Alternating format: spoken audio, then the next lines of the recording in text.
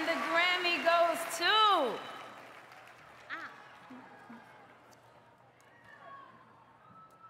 Random Access Memories Daft Punk. Featured artists Julian Casablancas, DJ Falcon, Todd Edwards, Chili Gonzalez, Giorgio Moroder.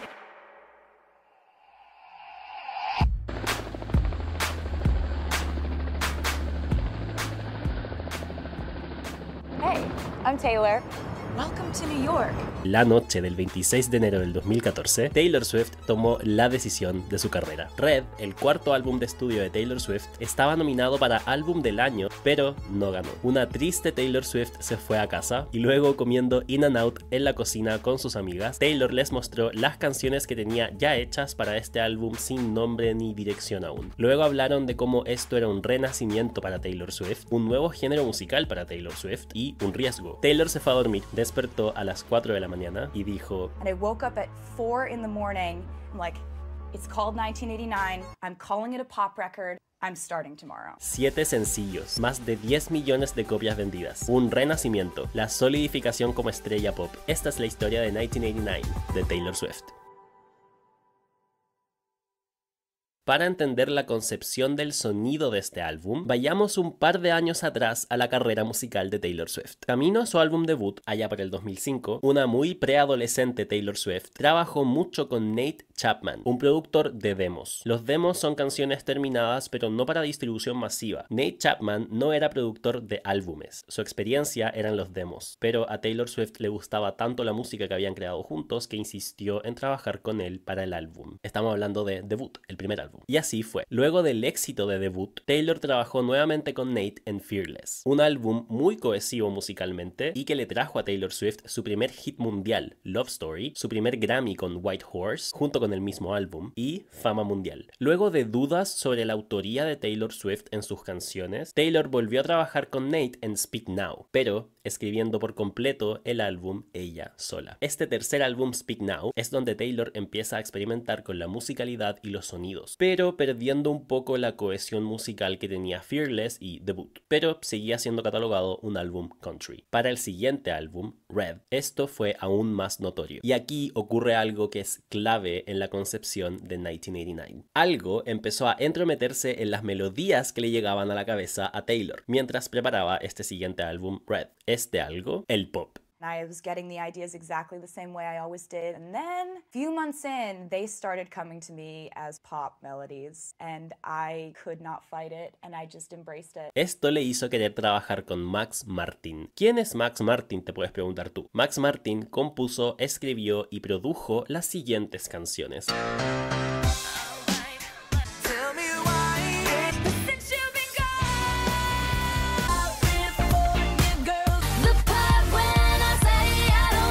Básicamente, como dijo Taylor Swift, What is a Swedish pop mastermind? What does that look like? ambos combinaron sus fuerzas, la narración, poesía y vulnerabilidad de Taylor Swift, con las letras y melodías perfectamente pop y pegotes de Max Martin. Y así nace el pop Taylor Swift. Max Martin produjo y coescribió con Taylor tres canciones para Red, We Are Never Ever Getting Back Together, 22 y un hitazo de su carrera y álbum, I Knew You Were Trouble. A pesar de todo esto, aún se sentía el compromiso por la música así que el acuerdo con la disquera fue catalogar al álbum Red como country, igual que los tres primeros. A pesar del gran peso del pop en el álbum, junto a otros géneros, esta fue la crítica más grande hacia el álbum Red, la poca cohesión, parecía tener múltiples personalidades. A little bit multiple personality.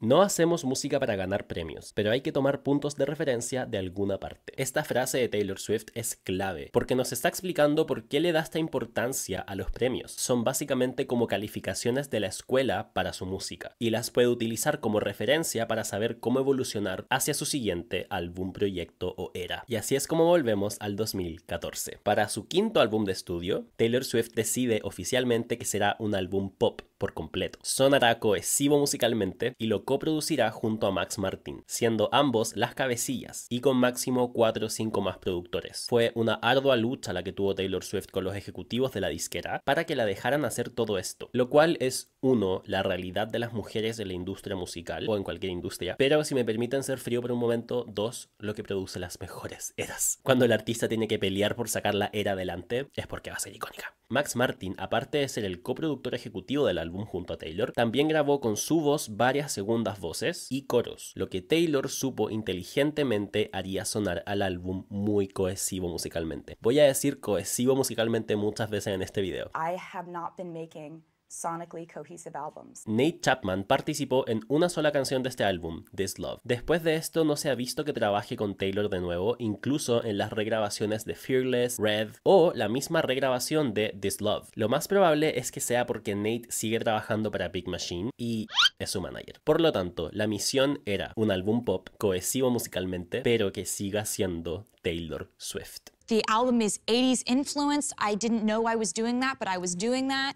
After that, I really was able to focus on the kind of 80s sonic concept. Yeah. La noche de los Grammys fue muy importante no solo porque escogió el nombre del álbum, sino que también encontró en qué centrar el sonido del álbum para traer la famosa cohesión musical. Una de las canciones que Taylor Swift creó en camino a crear 1989, sin saber aún qué haría 1989, fue Sweeter Than Fiction, I'm Taylor, and I co wrote the song Sweeter Than Fiction for the movie One Chance. Y en esta canción es cuando trabaja por primera vez con Jack Antonoff. La producción y la musicalidad de esta canción están fuertemente inspiradas en esto que le trajo la cohesión a 1989, el pop de los 80.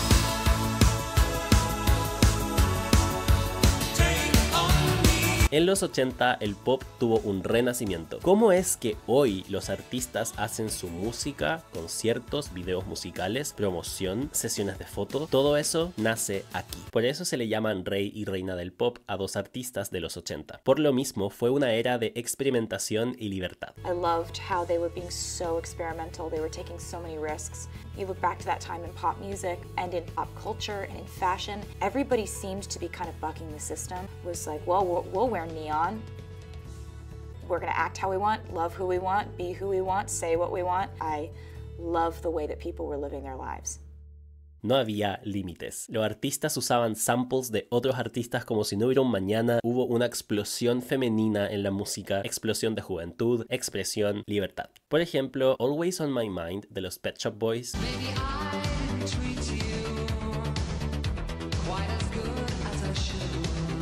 Esa nostalgia en la melodía y la letra, pero con un ritmo y producción electrónica y experimental que generan esta atmósfera de baile, libertad y optimismo sobre el presente, había mucha irreverencia también, sobre todo femenina, como por ejemplo hacer una canción sarcástica burlándote de las ideas preconcebidas que injustamente te está dando el mundo y los medios y el público por misoginia.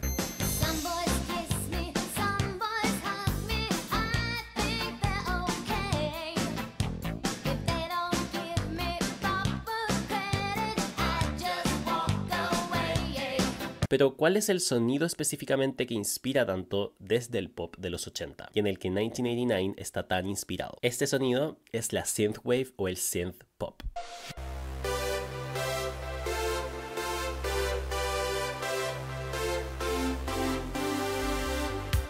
El synth pop es un género musical que se define por el uso de los sintetizadores. De ahí viene synth, synthesizer o sintetizador en inglés. O también las cajas de ritmo y los secuenciadores. ¿Qué es un sintetizador? Bueno, todos conocemos un teclado, ¿cierto? Esos grandes donde puedes apretar un botón y suena esto.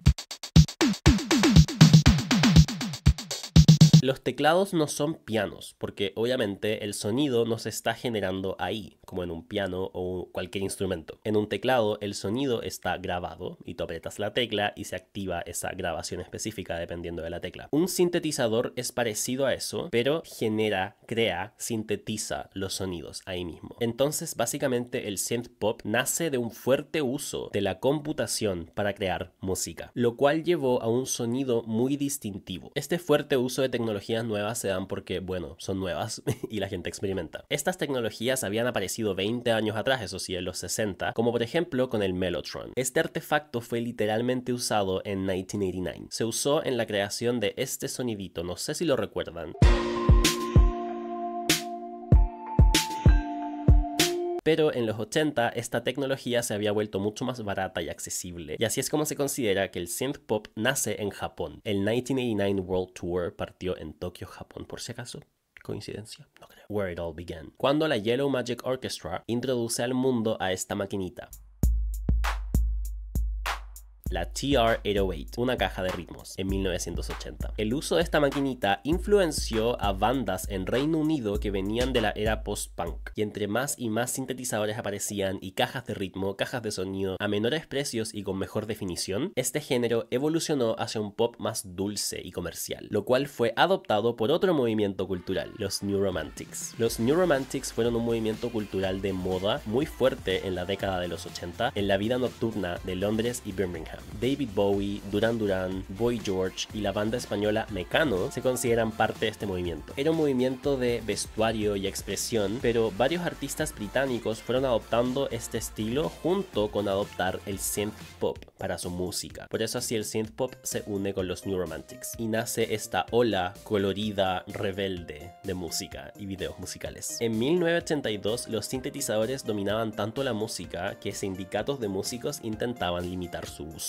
Bueno, Taylor Swift vio esta era como una época experimental de la música pop, donde los músicos abandonaron un poco la estructura oficial de la música, batería, guitarra, bajo, voces, para experimentar y crear cosas nuevas, sin reglas. Taylor admira como artistas como Annie Lennox, por ejemplo, plasmaron sus pensamientos intensos en su música, pero luego usaron este sonido synth y electrónico para darle la atmósfera necesaria a la canción. Hay un álbum de pop femenino que se estrena en 1989 Like a Prayer by Madonna came out in 1989, one of the most influential pop songs and music videos of all time. Yeah. Estos sonidos de la canción Express Yourself, por ejemplo, no son instrumentos tocados por humanos, nacen de synth y cajas de ritmo. El dong, dong, dong, dong, dong. Es un synth. Y si escuchan la percusión, no es una batería, es la imitación electrónica de una batería o una percusión. Tambor, caja, platillo.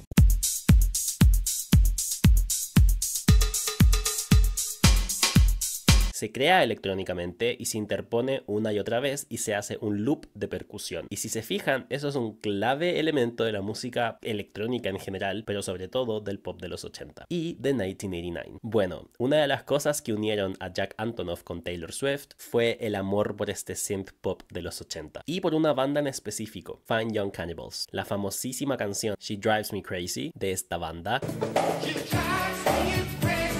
tiene un sonido muy específico en la caja, en la percusión. Cuando Taylor le menciona a Jack lo mucho que ama el sonido de esta caja en la percusión de esta canción, Jack le responde, te mueres. Acabo de hacer un sample con este sonido de esa caja, de esa canción. Lo tengo en mi iPhone. Taylor le pide que por favor le envíe esa pista y así nace una de mis canciones favoritas de 1989. Bueno, la disquera Big Machine Records no le hizo fácil a Taylor este camino hacia el pop. No creían en su habilidad de transicionar al pop y querían que mantuviera unas tantas canciones del género country dentro de 1989. Sentían que le debían el respeto hacia los fans, hacia las estaciones de radio, hacia Nashville, a toda esta cultura del country que estuvo con ella desde el principio. Taylor recuerda estas reuniones con la disquera como uno de los desafíos más grandes de sacar a 1989 adelante. Me decían, ¿estás segura que quieres hacer esto? ¿Estás segura que quieres nombrarlo 1989? Creemos que es un nombre extraño. ¿Estás segura que quieres que la portada sea menos de la mitad de tu cara? ¿Estás segura que quieres cambiar de un género en el que estás cimentada a uno en el que eres nueva? Y tener que contestar a todo eso, sí, estoy segura, era muy frustrante. Pero la mayor lucha se convirtió en el mayor triunfo una vez que todo salió bien. Ella sabía y sentía que el álbum cambiaría todo. Pero fue muy validante cuando el resto del mundo se enteró también. Así es como convenció a su disquera de lanzar 1989 como un álbum pop por completo. Y bueno, tenía razón. 1989 was essentially a, celebration. Like, I changed every part of my life. I focused every part of my life on different things than I'd focused it on before. New adventures and everything. El sencillo con el que comienza la era de 1989 es Shake It Off. Esta canción tiene un distintivo loop de percusión. Tiene sonidos en la percusión grabados por Taylor y Shellback con sus pies.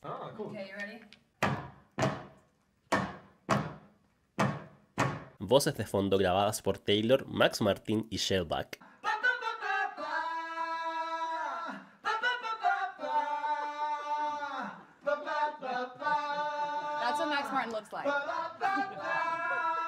Y algo a lo que Taylor hasta ese entonces le temía. las trompetas.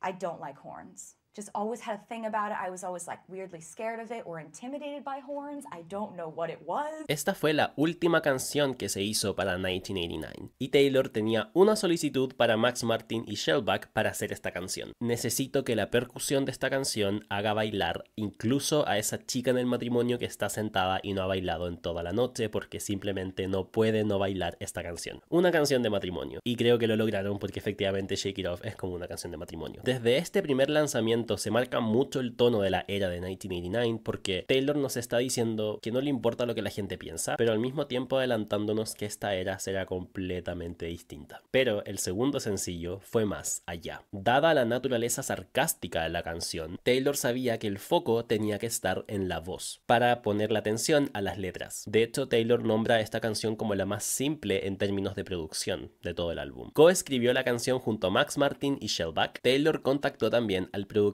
Ryan Tedder, con el que siempre había querido trabajar. Coescribieron y coprodujeron dos canciones, Welcome to New York y I Know Places, para las cuales Ryan usó el sintetizador Juno 6. Para I Know Places, Taylor formó la idea, Ryan grabó segundas voces y coros desde un bus en Suiza porque estaba de gira y la canción estaba lista. All You Had to Do Was Stay lamenta una relación pasada y nace de un sueño o pesadilla en el que Taylor se encuentra con un ex y lo único que le sale de la boca es Stay. En How You Get the Girl, Taylor básicamente da una guía paso por paso de cómo recuperar a una chica. En This Love, Taylor usa el mar como una metáfora de un amor que desaparece y luego vuelve como las olas. Taylor menciona cómo es en esta canción que empieza a experimentar con la producción vocal. Es muchas veces mencionada como una de las canciones más tristes del álbum y esta es la canción que Taylor escribió completamente sola de 1989. Wonderland es la primera de las tres canciones de la versión deluxe del álbum y referencia a Alicia en el País de las Maravillas para hablar de cómo este amor está cayendo en un rabbit hole. Inspirada en la relación de Jack Antonoff y Lena Dunham, You Are in Love es otra balada synth del álbum, pero esta vez feliz. Para Clean, Taylor contactó a la artista británica Imogen Heap para producir la canción, después de haber creado letras y melodía. La letra de esta canción hace una analogía entre estar limpio de una adicción con superar una relación amorosa de esas que cambian la vida. Es una hermosa canción donde esto que Taylor menciona sobre traerle atmósfera a una canción con la producción, con los detalles de la producción, se ve claramente. Se escucha.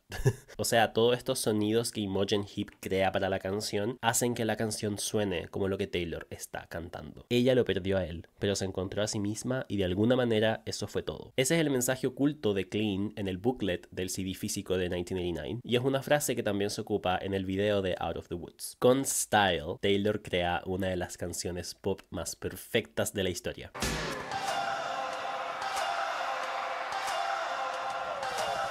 Con Out of the Woods se crea una canción caótica que Taylor definió como la que mejor describe a 1989 y genera una de las mejores presentaciones en vivo a mi parecer de Taylor Swift. Es una canción que habla sobre la ansiedad de no saber cuándo se van a acabar los problemas dentro de una relación. Nace cuando Jack Antonoff le manda a Taylor una pista instrumental sin terminar mientras estaba en un avión. Ella le contestó con un mensaje de voz cantando la letra de la canción media hora después. Esta es la primera vez que Taylor escribe una canción sobre una pista ya hecha. Out of the Woods, a través de la estructura y la producción de la canción, nos hace sentir esa ansiedad y caos de la que habla la letra. Pero en su parte final nos hace sentir esa nostalgia con la que cierra. Para el video de Blank Space, Taylor empezó a trabajar con uno de los directores de videos pop más famosos e importantes, Joseph Kahn. Joseph dirigió Toxic de Britney Spears, él es Joseph Kahn. Esta nueva relación fue importante porque han seguido trabajando juntos por años. Él también dirigió el video de Bad Blood. Y otro gran video del que hablaremos cuando haga un video sobre la era que viene. Blank Space fue una canción donde Taylor fue ahí, she went there, y tocó todos los puntos que la gente, el mundo y la prensa le criticaba, con mucha misoginia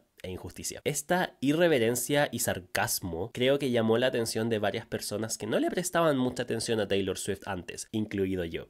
y siento que le dio a Taylor una sensación de control en su narrativa que la empoderó mucho, al menos en esta era. No hay nada más poderoso que reírte junto a tus bullies de las cosas por las que están intentando hacerte sentir inseguro. Les quitas todo el poder y te lo llevas a ti. Wildest Dreams fue coescrita junto a Max Martin y Shellback y producida por ellos En esta canción Taylor habla de alguien que es tan malo pero lo hace tan bien. El video musical fue dirigido por Joseph Kahn también y su historia cuenta como el personaje de Taylor tiene un romance con su coestrella en la grabación de una película, pero en el estreno se entera que está casado con otra mujer. El video de Bad Blood junta a Taylor y varias amigas para esta épica aventura vengándose de una mujer que traicionó a Taylor Swift. Fue estrenado en los VMAs y ganó un Grammy por mejor video musical. En conjunto, este álbum nos cuenta la historia de una nueva Taylor Swift, mudándose a una nueva ciudad, estando soltera, conociendo a nuevas amigas y redescubriéndose a sí misma. Y eso Taylor lo dice en la primera canción del álbum, Welcome to New York.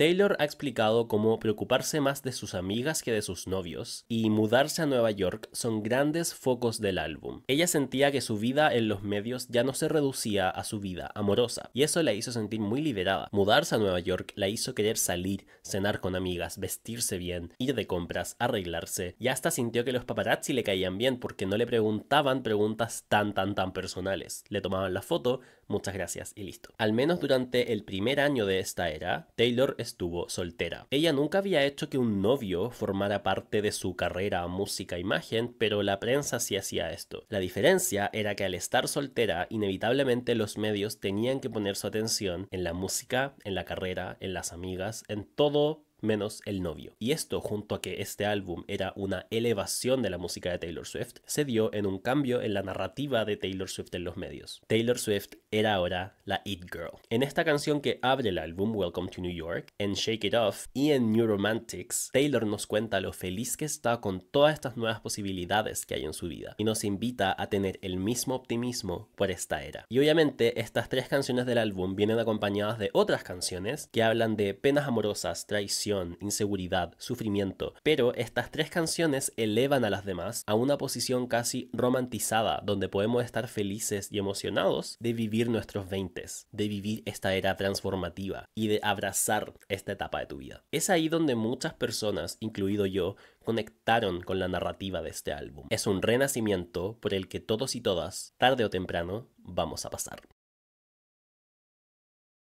Taylor Swift sabía que 1989 iba a ser un momento pivotal de su carrera, así que la promoción no paró ni un segundo. Maren Wilkinson, una profesora especializada en medios y cine, nota cómo Taylor evoluciona hacia una estrella pop en esta era de 1989, pero a su manera y estilo. Es una idea de popstar que se construye, exponiendo que no se da fácil y algo que se arma con trabajo duro, porque sabemos que Taylor escribe la música, prepara y planea sus eras. Y la popstar siempre tenía esta imagen de que todo se da muy fácil, simplemente naces así. Y Taylor cambió esto en la imagen de la estrella pop ya que Taylor Swift había sido siempre identificada con esta imagen auténtica, real, trabajadora, a través de la música country, se necesitaba una buena estrategia de comunicación y marketing para mantener estos factores importantes de Taylor en esta transición hacia el pop. Pero eran todos los que estaban preocupados de esto, menos Taylor. Taylor sabía que la poesía de sus letras, la vulnerabilidad y la conexión con sus fans iba a seguir ahí. Esta nueva Taylor, esta It Girl, Main Pop Girl, estaba en todos lados. Estaba en la lista de las mejores vestidas todas las semanas. Y de hecho Taylor dijo, me fui a este lugar mentalmente donde dije, voy a probarle a todo el mundo que merezco estar aquí. La fama de Taylor llegó a niveles altísimos y en plena era de las redes sociales. Creo que aunque ella sabía que esta era iba a ser un éxito, como típica historia de un icono pop, nunca dimensionó ni tenía cómo dimensionar lo grande que iba a ser este éxito. A mí, como aficionado de la cultura pop, y específicamente de los iconos pop femeninos, mis eras favoritas son estas, son las más emocionantes. Más que nada porque puedes sentir lo inspiradas que están en su creatividad. Pero a veces no consideramos cómo en estas etapas de un éxito tan alto de estas artistas, esa perfección cuesta caro. Y debe ser muy difícil sentir esa presión que ponemos todos los que estamos mirando. Fans, no fans, prensa, críticos, y considerando que reinventarse es una presión puesta a las artistas femeninas y no a los hombres. En su documental Miss Americana, Taylor recuerda cómo en esta época estaba pasando por un desorden alimenticio, tratando de cumplir con los estándares de belleza y perfección dentro de todo el concepto de esta era de su vida y carrera. I thought that I was just like supposed to feel like I was going pass out at the end of a show or in the middle of it. I thought that was how it was. And now I realize know if you eat food, have energy, get stronger, you can do all these shows and not feel it. I mean, that that wasn't how my body was supposed to be. I just didn't really understand that at the time. I really don't think I knew it. I was like, what are you talking about? Of course I eat. It's perfectly normal. I just exercise a lot. And I did exercise a lot, but I Creo que como fans es muy importante entender eso y tener límites a la hora de comentar sobre nuestros ídolos y gente que queremos en Internet, porque a veces nosotros los mismos fans podemos caer en exigirles perfección. En su nueva vida neoyorquina y soltera, Taylor había armado nuevas amistades, muchas de las cuales aparecían en sus redes sociales, videos, conciertos, y Taylor dijo de hecho a Rolling Stones, cuando tu prioridad número uno es obtener un novio, estás más inclinada a ver a una mujer bella y pensar, oh, ella obtendrá ese chico atractivo con el que yo quiero salir. Pero cuando no estás buscando novio, eres capaz de dar un paso atrás y ver a otras chicas a las que le está yendo increíble y pensar, Dios, quiero pasar tiempo con ella. Taylor ha hablado varias veces de cómo definitivamente no era popular en la escuela. Claramente estaba súper feliz y emocionada de tener esta nueva experiencia de amigas. Muchas amigas. Este elemento del squad de Taylor Swift elevó su posición en la sociedad de las celebridades. Es uno de esos elementos de la era de 1989 que la volvió cool y la It Girl. Pero esto terminó siendo un dilema para Taylor. Considerada lo inteligentemente planeada que era su carrera, la gente no dudó en sospechar que sus nuevas amigas eran estrategia también. Y aquí empezamos a ver una palabra que se usó mucho para describirla injustamente, calculadora. Se criticó la diversidad de los tipos de cuerpo de sus amigas, se decía que cada una tenía un rol específico, estaban muy bien pensadas y escogidas, y para muchos era una tropa de modelos. Taylor siempre ha conectado con sus fans en que es igual a ellos es alguien con quien sus fans se identifican fuertemente. Más que una ídolo, es una amiga, hermana grande para muchos Swifties. Pero ahora parecía ser que las cualidades que tenías que tener para ser parte de su squad y ser su amiga eran difíciles de alcanzar para la mayoría de la gente. Bueno, años después, el 2019, Taylor menciona cómo se arrepiente un poco de cómo publicitó sus amistades en esta época. Nunca haber sido popular de niña fue siempre una inseguridad para mí. En mis 20 de repente estuve rodeada de chicas que querían ser mis amigas. Así que lo grité a todo el mundo, subí fotos y celebré mi nueva aceptación a esta hermandad, sin darme cuenta que otras personas se deben sentir igual que yo cuando estaba sola. Es importante lidiar con nuestros problemas de la vida antes de volvernos ellos en carne propia. Yo creo que el mayor error es pensar que Taylor Swift es una Regina George, escogiendo amigas para una squad, cuando en realidad era lo contrario. Era una joven viviendo un poco su niña interna y procesando esos traumas con esta nueva popularidad que llegó a su vida pero creo que es muy lindo y vulnerable, como siempre lo hace Taylor, que nos admita ahora que es algo que pasó por sus heridas de la infancia. Bueno, con la era más grande de Taylor a la fecha, el álbum más grande de Taylor a la fecha, se venía algo inevitable, su gira más grande a la fecha. El 2015, Taylor Swift se embarcó en el 1989 World Tour, invitándonos a celebrar con ella. Esta gira incluyó visitas de famosas y grandes estrellas. Taylor usó casi casi todas las canciones de 1989 y reinventó varios de sus clásicos hits. Para diciembre del 2015, la gira había generado más de 250 millones de dólares, convirtiéndose en ese entonces una de las giras más rentables de todos los tiempos. Mi vida nunca había estado mejor, dice Taylor en retrospectiva. Al igual que todos los elementos de esta era, el tour se elevó a nuevos niveles. La producción, los aspectos teatrales, la puesta en escena, el baile, incluso la performance vocal de Taylor Swift estaban a otro nivel. Y fue una evolución que trascendió a sus siguientes eras, giras y presentaciones en vivo. La voy a ver en dos semanas, no puedo creerlo. El 3 de noviembre del 2014, Taylor Swift sacó toda su música de Spotify, la plataforma más grande de streaming de la época. Las razones, bueno, la opción gratuita que tenía con publicidad Spotify le quitaba valor a la versión pagada, y es la versión pagada la que le traía mayores ingresos a los compositores y músicos. Taylor escribió una famosa carta abierta al Wall Street Journal en julio del mismo año, mostrando su preocupación ante la caída del álbum como un concepto de entidad económica, con este crecimiento de las plataformas gratuitas de streaming. Taylor dijo, la música es arte. Y se debe pagar por el arte. Taylor finalmente estaba luchando por el derecho de todos los músicos de poder vivir de la música. Big Machine y Taylor Swift mantuvieron 1989 solamente en plataformas de streaming que fueran pagadas, como Rhapsody o Beats Music. Esta decisión creó un debate en la industria sobre el impacto del streaming en la caída de las ventas de los álbumes. En junio del 2015, Taylor anuncia que sacará 1989 de Apple Music, criticando a la plataforma por no pagarle a los artistas durante el periodo de prueba de tres meses que ofrecía. Esto hizo que inmediatamente Apple Music anunciara que efectivamente pagaría a los músicos durante este periodo de prueba de tres meses. Se decidió mantener 1989 en Apple Music y posterior a esto Taylor participó en varios comerciales para Apple Music. En junio del 2017 Taylor agregó su discografía completa. Esto es uno de los tantos ejemplos que llevó a la creación de un artículo que marcó la carrera de Taylor hasta el día de hoy. Taylor Swift es la industria musical. There's one thing you should know about me before we begin. I was born in 1989. Todos, dentro y fuera del negocio de la música, me decían que mi opinión y perspectiva eran ingenua y demasiado optimista, incluso mi propia disquera. Pero cuando nos llegaron los números del primer día, de repente ya no me veía tan ingenuo al parecer.